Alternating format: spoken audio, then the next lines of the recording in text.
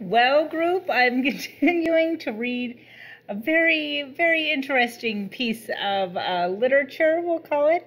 Um, I just, I was just deep into the year 1995. When I left my old self, it was uh, Christmas time, very, the very end of the year. And I wasn't quite ready to move on to the end of my senior year, so I decided to go back in time a little bit.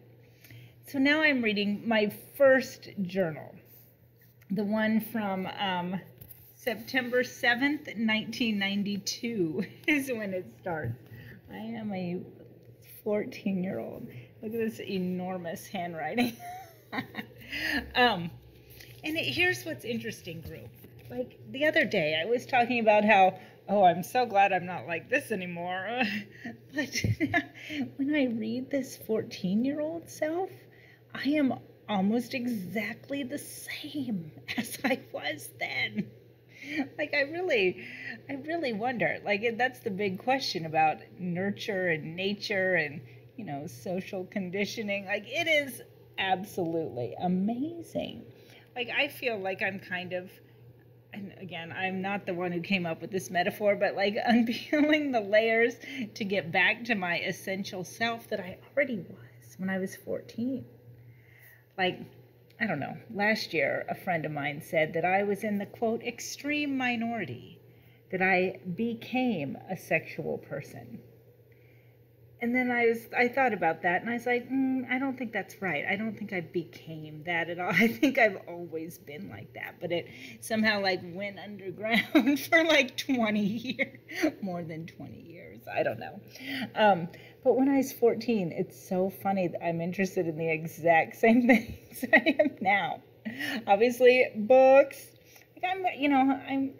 I just tossed this book across the table and I said to Jay, if I didn't, I would, would want to just give up reading if I didn't love it so much. I feel like I've spent too much time reading. Ugh. But yet I can't get away. like I'm not going to stop. Um, but anyway, obviously books. But I also go into deep detail. And once I read this, I remembered this about a um, a movie I watched. I think I was by myself in the basement watching this movie called Andrew and Fergie, or Fergie and Andrew, all about like you know Sarah Ferguson and Prince Andrew. And I I talk about how they met, and I, I say I say something like I don't want to use a conventional teenage word, but Andrew was hot. like already at four, and when I was fourteen, I was like, I don't want to say somebody's hot, but then I did. And then, you know, I kind of like took a hiatus from using that word, and now I've come back to like I can use it comfortably. But I describe Andrew, Prince Andrew, as hot and sexy, and describe their courtship. And you know, I talk about Andrew's career was in the Navy, and then when they they reunited, I, I said they were literally ripping each other's clothes off. And then I, you know, comment commentated, "I'm serious." like I was obviously really interested in this. Then I talk about how it's like homecoming week, and I um, won the costume contest on pajama day. I maybe remember this, you know, when I really think of it. But I think like I've always been like a performer. Like I don't, I don't know why I, you know, stopped. I've always been like, you know, a showboat. maybe that's not great, but that's who I am. And here I am, you know, trying to have this YouTube channel, just me talking. So there I was, 14, winning like the, the contest. And I even talk about how I thought I should have won more days. and then I talk about doing a um, a report for a geography class about Romania. And then I say the last thing I said, and one of the pictures was of a nude beach. which again, I'm also interested now. So here I am talking about ripping people's clothes off, hot men, and nude beaches. And I mean, I still that's still like a number very high on my interest level. so I don't know. Again, I don't want to.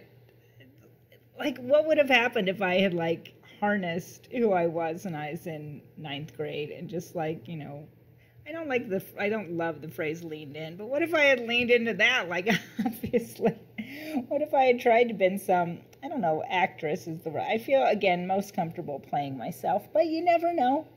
Obviously, like I've read books about like women, like um, that were like performers slash sex sex performers. I don't know. Like I could have. What if I had like pursued a career in that? I think I'd be really good. Anyway, I guess you know, never too late. Um, I don't know. Oh yeah, and also uh, my art teacher said in ninth grade that I was good at drawing.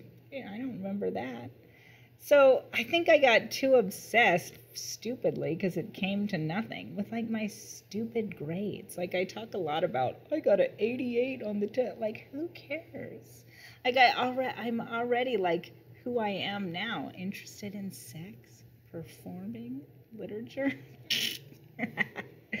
so anyway, better late than never. I guess here I am not talking about it on YouTube for millions of viewers. But anyway, my question for the group is are we essentially the same people at 14 that we are for the rest of our lives? Obviously, I think the answer is, you know, some yes and no, yes and no.